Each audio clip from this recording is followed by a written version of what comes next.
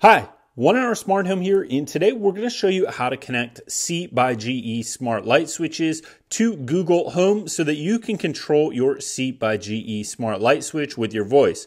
Okay, Google, turn on small bedroom.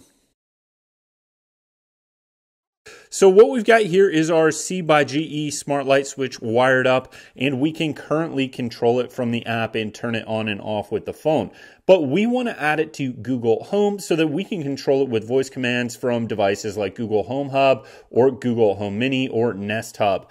So in order to do that, we're going to need to have the light switch installed and the Google Home app installed on our phone. So we've already done that and we are at the home screen for the Google Home app.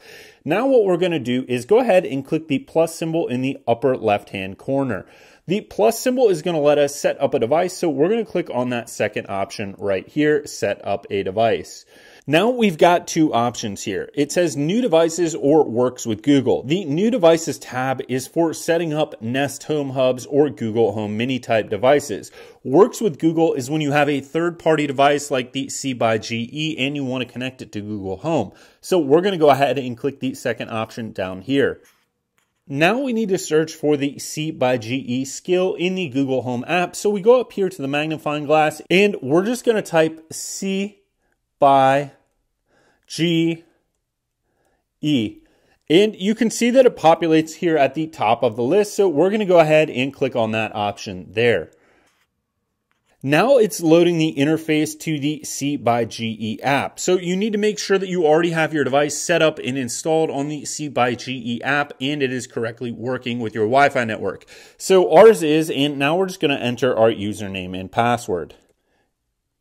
We successfully logged in to the C by GE app. So now the device is set up on our Google Home. So it gives us the option to add the device to a room. If I clicked here, I could then add it to a room, but I'm not going to do that for now. So in order to get out of this, all I'm going to do is click X and then I'm going to click back again and I'm going to click back one more time and I'm back to the home screen.